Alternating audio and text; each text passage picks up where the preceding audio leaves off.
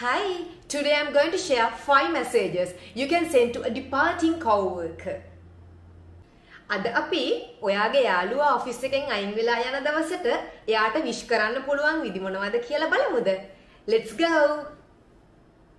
Congratulations on your new job. Wishing you all the best.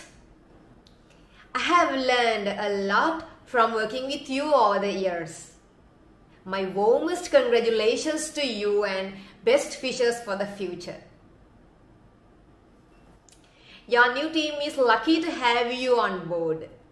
Wishing you great success in your new role. I'm so excited about this new opportunity for you.